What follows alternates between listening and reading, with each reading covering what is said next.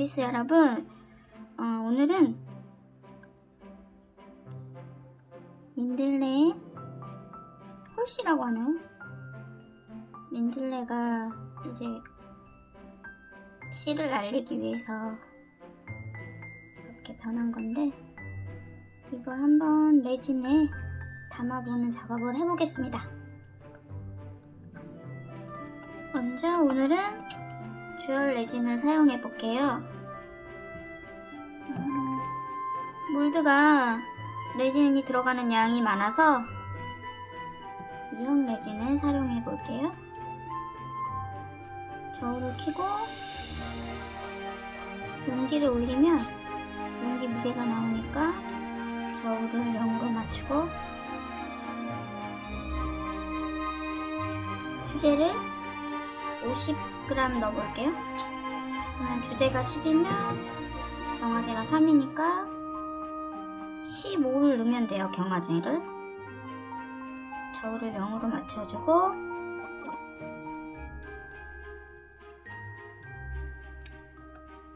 저어줄게요.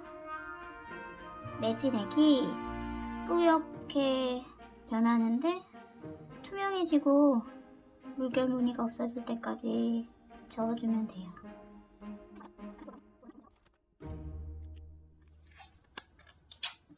몰드에 먼지를 좀 제거해 줄게요. 이 민들레 홀씨 담는 작업은 처음 레진 아트 시작할 때부터 한번 해보고 싶었거든요. 아, 근데 좀 어려운 작업이기도 하고 재료 구하기도 쉽지 않아서 좀 있었는데 며칠 전에 밥 먹고 집에 오는 길에 봄이 되니까 이제 꽃씨가 날리잖아요. 민들레가 많이 꽃씨가 되어 있더라고요. 그래서 아 이참에 만들어 봐야겠다. 그래서 올라오는 길에 하나를 따서 말렸는데 여기 조금 씨가 빠졌어요. 동그랗게 좀 모양이 이쁘게 잘 돼 있었으면 좋았을 텐데. 올라온 기포를 한번 제거해 줄게요. 몰드에 레진은 3분의 1, 4분의 1 조금 일단은 많이 붙진 않을게요. 홀씨가 들어갈 자리를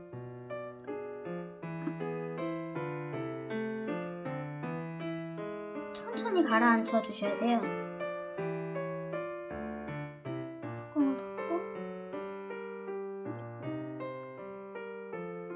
그리고 홀씨가 움직이지 않게 테이프로 한번 고정을 해줄게요. 씨가 좀 빠진 것 같아요. 하지만 어쩔 수 없, 없기 때문에 이렇게 그냥 하겠습니다. 스포이드를 하나 버린다 생각하고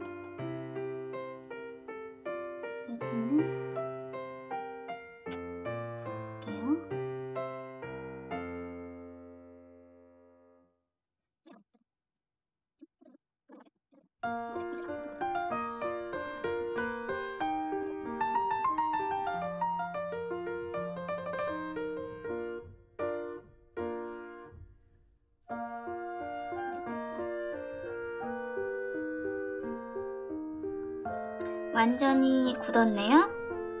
한번 몰드에서 빼볼게요.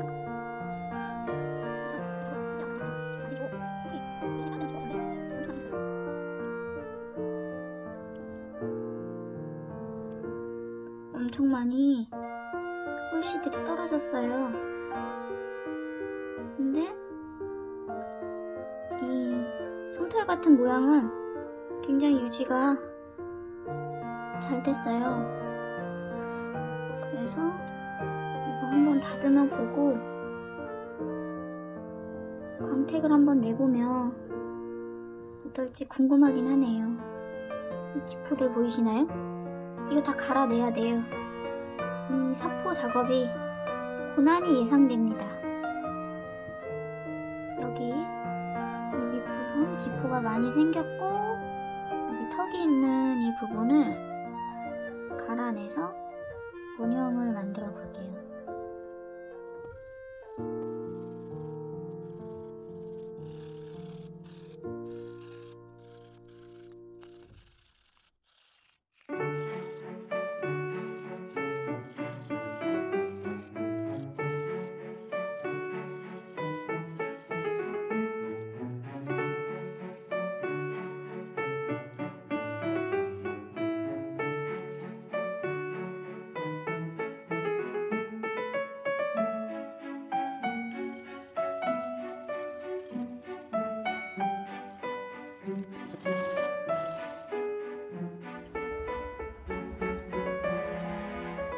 보시면 턱이 다 없어졌죠? 근데 턱은 없어졌는데 뿌에서 많이 보이지가 않아요. 그래서 위에다가 레진으로 마무리를 해줄게요.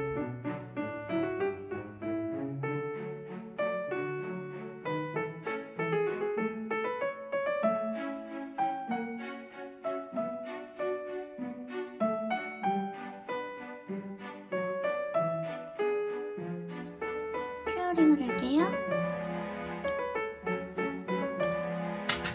코팅이 됐고요. 여기 바닥 부분에 정리 주기 전에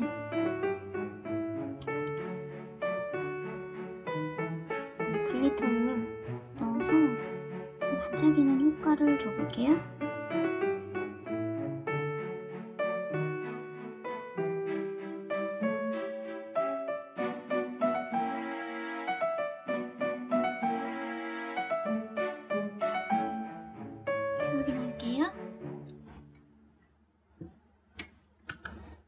더 코팅해주고 마무리할게요.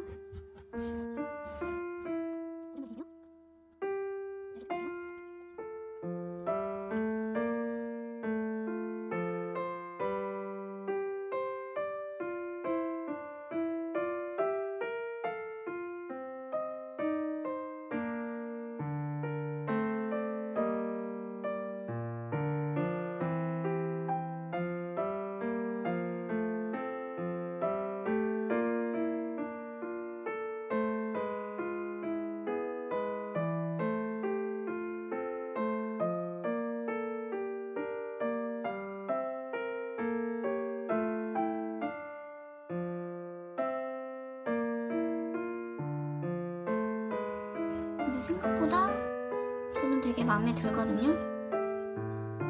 근데 이게 음, 아 이걸 이걸 알았어요. 사포질을 하니까 아무리 액을 겉에 코팅을 해도 좀 이렇게 뿌연 자국이 남는 거를 알, 알았거든요.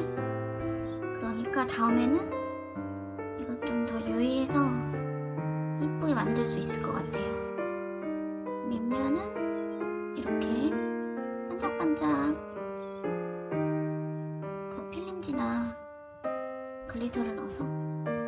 옆에서 봤을 때 이런 식으로 이쁜 색이 나게 좀 뭔가 몽환적이지 않나요? 되게 마음에 들고요. 음, 이거는 문진이라고 하는 건데 이렇게 책장 같은 거 바람에 날리지 않게 이렇게 대놓는 거예요.